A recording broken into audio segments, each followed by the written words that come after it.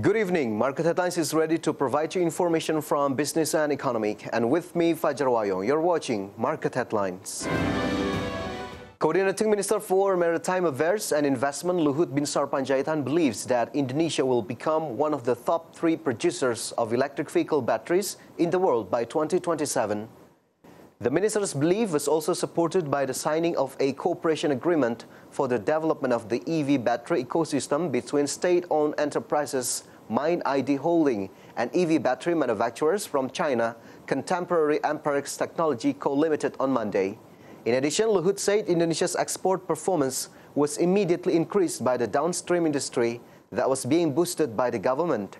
He noted that Indonesia's exports of nickel derivatives rose significantly from around 8.1 billion to 33.8 billion dollars in 2022. Moreover, he projected a two-fold increase in the exports of nickel derivatives if the downstream plan to the electric battery industry ecosystem can proceed in the next four to five years.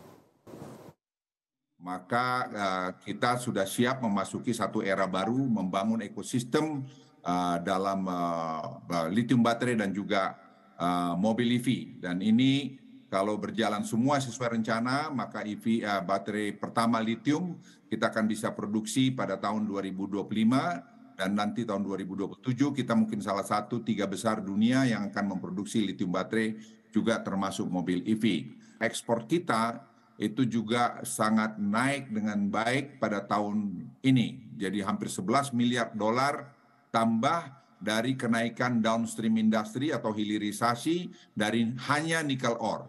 Jadi kalau tadi kita sampai pada lithium baterai, angka ini saya kira